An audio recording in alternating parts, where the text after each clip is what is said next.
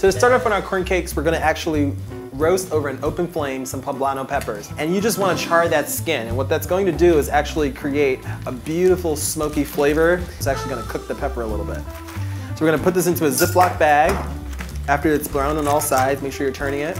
Put in a Ziploc bag and we'll let the air and the steam just kind of allow it to remove that skin and peel it. So now we're gonna work on corn cakes. So I've got some corn flour, not to be confused with corn starch. Cool. Add that right in. To that, we're going to add some baking powder. You can find the measurements in the comment box. We're gonna add some salt and some chili powder. And you know what's great about this is that you can add as much chili powder as little as you want. You can do chipotle powder, you can do an ancho chili powder. So just get all your dry mixed in together. And now we're gonna crack some eggs in a separate bowl. You know, I really love cornbread. I grew up with cornbread. My father is from the South, and I grew up with, with, a lot of different cornbread in my house. And as I got older, I started to add different flavors to the cornbread, because really the cornbread is sort of like a base for anything you want. This particular corn cake, it's almost like an arepas. You know, you can kind of make it a corn arepas right on the stove. We're gonna add some buttermilk, and you can put whatever you want on top of that arepa. So it's the same concept here. So we're just gonna mix this in just a little bit with our whisk, just to break those yolks down. I like to crack my eggs into a separate bowl just to make sure that I don't get any shells into my batter. Give that a whisk. And now what we're gonna do is add this right in. Just give it a whisk.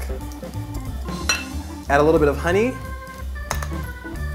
My honey bear, give him a squeeze. It's about two tablespoons. And some clarified butter.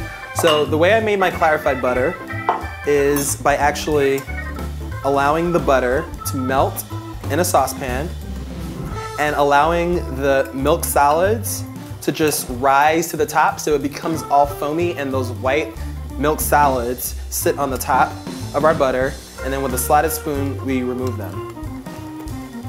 And then you're left with clarified butter. So this looks really, really good. Now we're gonna do is add some pimento cheese. I've got a couple ounces of pimento in there. Just gonna stir that right in.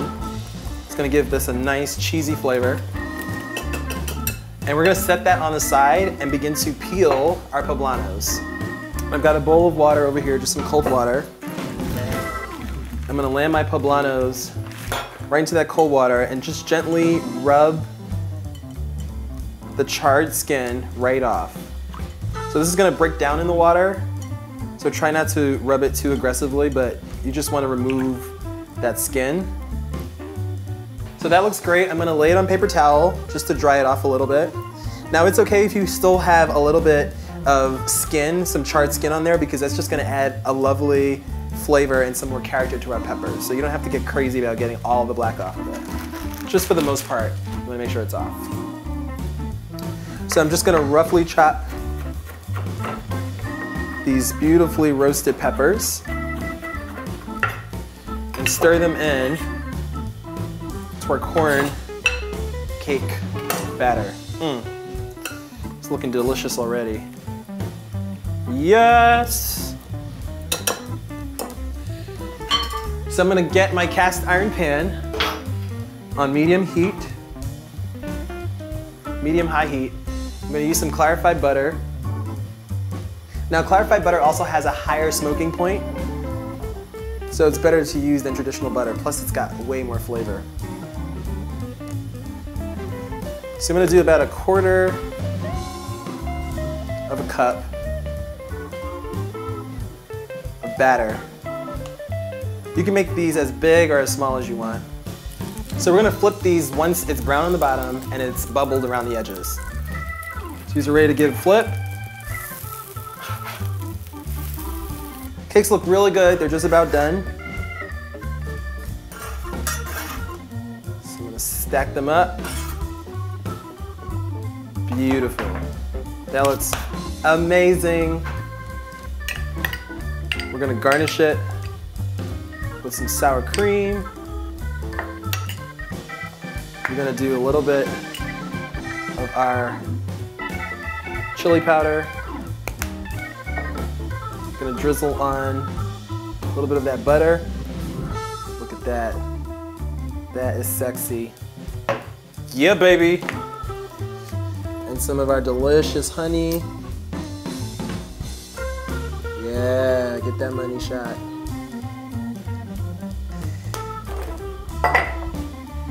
We're gonna do some chopped cilantro. You know what's cool about eating good looking food is that you automatically believe it tastes good. And I automatically believe this tastes good because it looks good. There you have it. My corn cakes, done.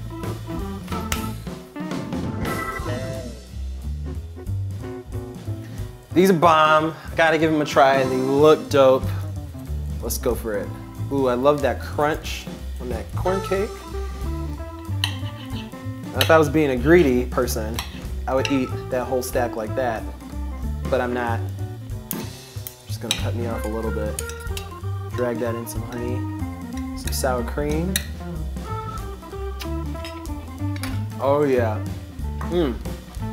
You know what I love about it? I really can taste the texture of that corn and I love the sweetness of the honey.